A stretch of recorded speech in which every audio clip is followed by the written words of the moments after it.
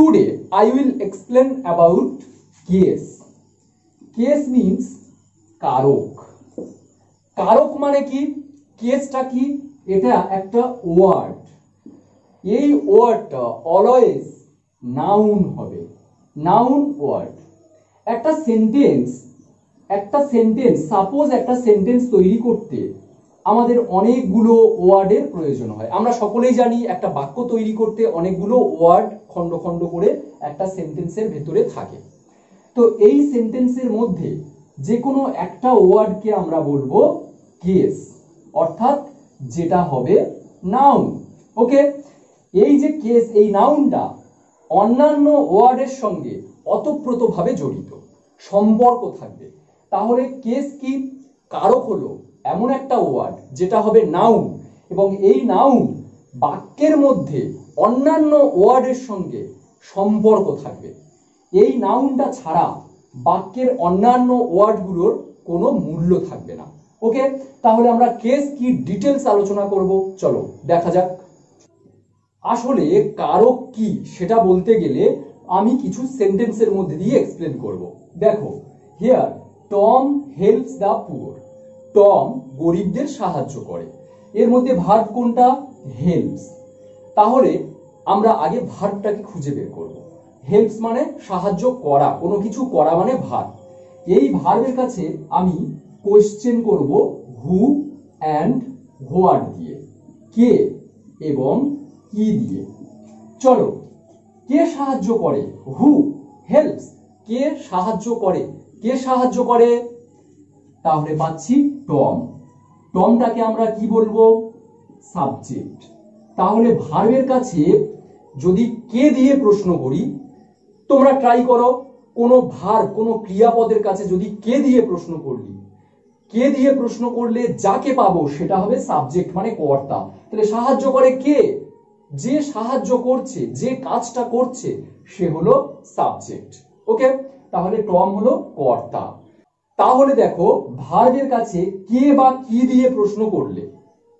যে অ্যান্সারটা পাবো, কে সাহায্য করে? টম যে অ্যান্সারটা পাচ্ছি সেটা হবে সাবজেক্ট মানে কর্তা। আর এই সেন্টেন্সের এই কর্তাকে আমরা বলব nominative case nominative case okay তাহলে দেখো সাবজেক্ট যে টম পাচ্ছি টম ওয়ার্ডটা হলো নমিনেটিভ কেস নমিনেটিভ কেস মানে কি? কর্তিকারক, অর্থাৎ কর্তা।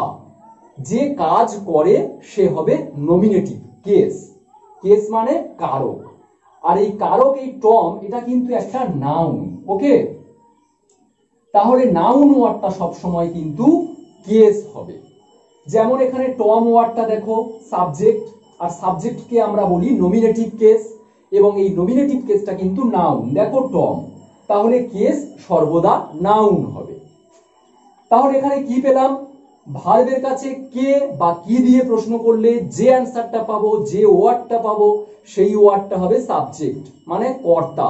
আর এই সাবজেক্টকে আমরা বলি নমিনেটিভ কেস মানে কর্তিকারক। চলো নেক্সট এই যে ভার্ব এই ভার্বের কাছে আমরা এবারে প্রশ্ন করব হুম বা হোয়াট দিয়ে। কাকে? ওকে? চলো, কাকে দিয়ে প্রশ্ন করি? কি সাহায্য করে? ফার্স্ট আমি কি দিয়ে করছি? হোয়াট হেল্পস কি সাহায্য করে? কিন্তু অ্যান্সার পাচ্ছি না। হুম দিয়ে করো? হুম হেল্পস কাকে সাহায্য করে? টম কাকে সাহায্য করে? আমি হুম দিয়ে প্রশ্ন করছি হেল্পের কাছে। কাকে সাহায্য করে?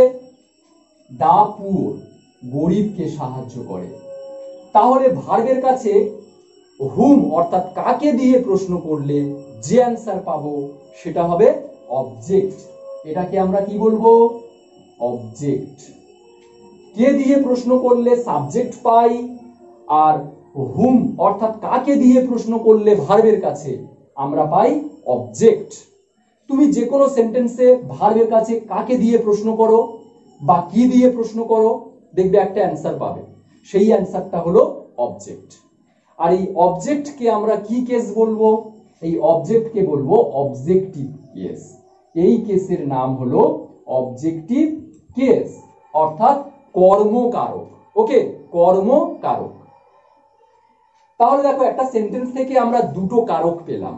এক নম্বরে নমিনেটিভ কেস সাবজেক্ট আর অবজেক্ট দু নম্বরে হলো অবজেক্টিভ কেস সাবজেক্টিভ অর্থাৎ নমিনেটিভ কেস আমরা কীভাবে পাবো সেটা দেখলাম, আর অবজেক্টিভ কেস কীভাবে পাবো সেটাও দেখলাম।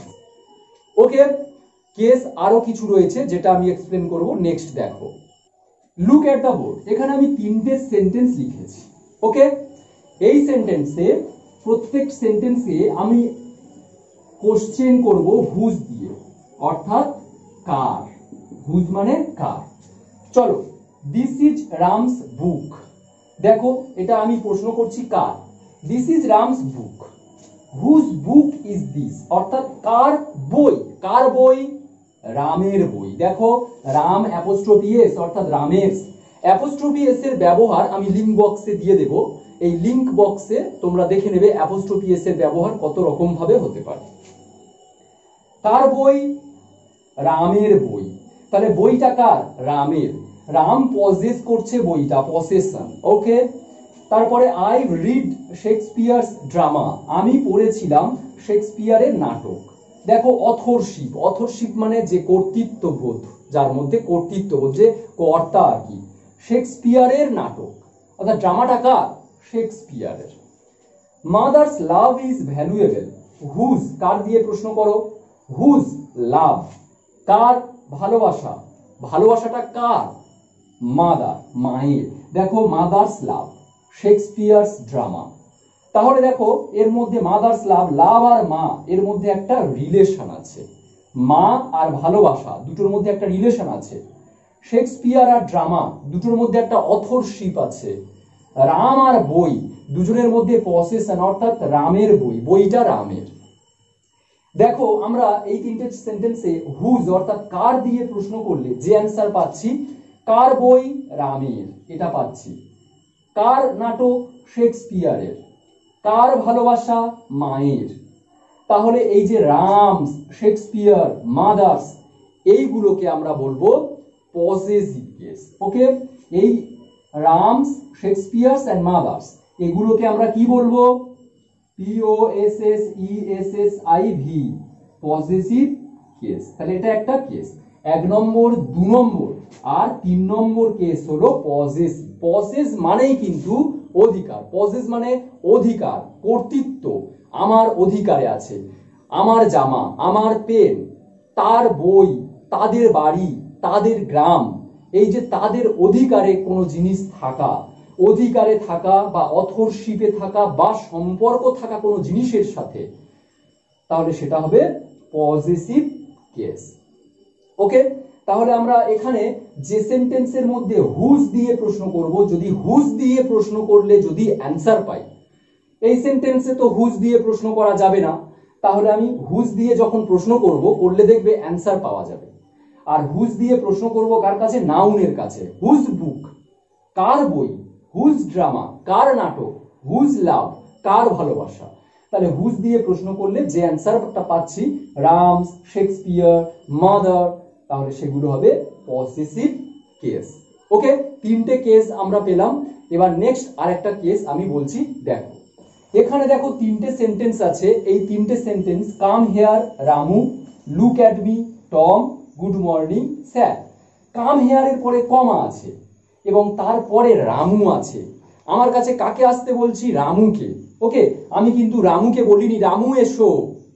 এটা বলিনি। আমি বলছি, এসো, রামু। আমি তার নাম সম্বোধন করে বলছি, তাকে আমি অ্যাড্রেস করে বলছি। দেখো, এরকম অনেক সময় আমরা বলি যে কাম হেয়ার রামু। ওকে এখানে দেখো, নামটা রয়েছে এখানে এবং কমা রয়েছে। এই নামটা আমি অ্যাড্রেস করছি ওকে, অর্থাৎ সম্বোধন করছি। ওকে তাহলে দেখো লুক অ্যাট মি আমার দিকে তাকাও। কমা দিয়ে টম ওকে আমি টম বলে ডেকে সম্বোধন করছি, করে বলছি লুক অ্যাট মি স্যার বলে আমি সম্বোধন করছি, করে বলছি, গুড মর্নিং। তাহলে এই যে সম্বোধন করা, ওকে, সম্বোধন করা, এই সম্বোধন করা, এই ধরনের সেন্টেন্স যদি আমরা দেখতে পাই, তাহলে আমরা এই যে কমা দিয়ে, রামু কমা দিয়ে, টম কমা দিয়ে, স্যার, এগুলোকে আমরা বলব vocative case vocative case okay?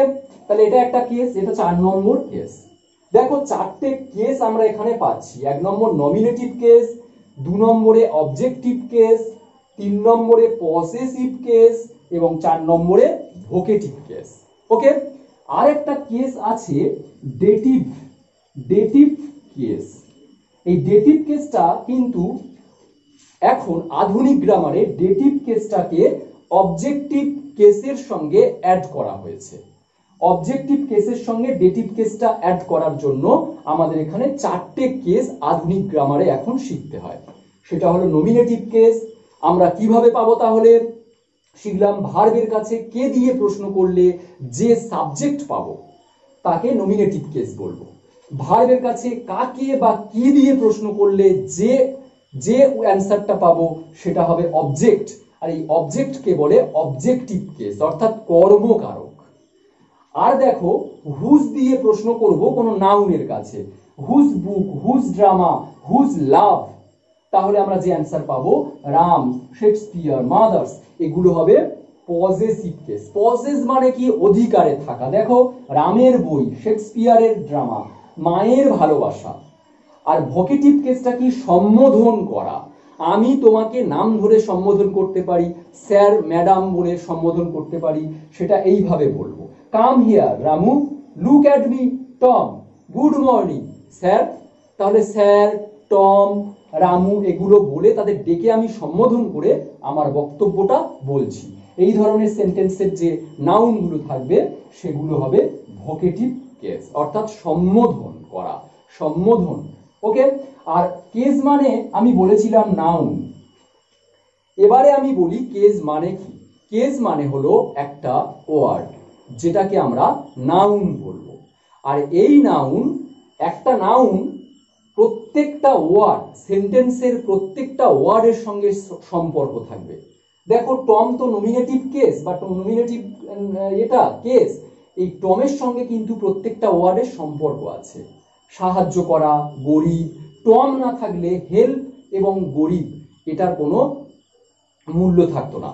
তাহলে টম এই যে নাউন এর সঙ্গে কিন্তু এদের সম্পর্ক আছে। তাহলে কারক কি? কারক হলো একটা ওয়ার্ড যেটাকে নাউন বলব, এবং এই নাউন অন সেন্টেন্সের অন্যান্য ওয়ার্ডের সঙ্গে একেবারে সম্পর্কটা সুন্দর থাকবে। ওকে তাহলে প্রত্যেকটা কেস কিন্তু আমরা এখানে নাউন পাচ্ছি। দেখো, Ramu, Tom, sir. Ram, mother, Slav, Shakespeare, drama, Tom, the poor, এগুলো সব কিন্তু এক একটা নাম তাহলে আমরা এখানে শিখলাম নমিনেটিভ অবজেক্টিভ পজিটিভ আর ভকেটিভ ওকে তাহলে চারটে কেস আমরা সুন্দরভাবে এখানে এক্সপ্লেন করলাম। ভিডিওর ব্যাকে গিয়ে আবার তোমরা দেখতে পারো। সুন্দরভাবে এখানে এক্সপ্লেন করা আছে এই অবজেক্ট কত টাইপের হতে পারে, এখানে কত রকমের অবজেক্ট থাকতে পারে, তার একটা ভিডিও আমি নেক্সট ভিডিওতে আপলোড করব। তোমরা অবশ্যই দেখো আর ওয়েট করো তার জন্য। আজ এই পর্যন্ত। তাহলে কেস আমরা শিখলাম। সকলে খুব ভালো থেকো।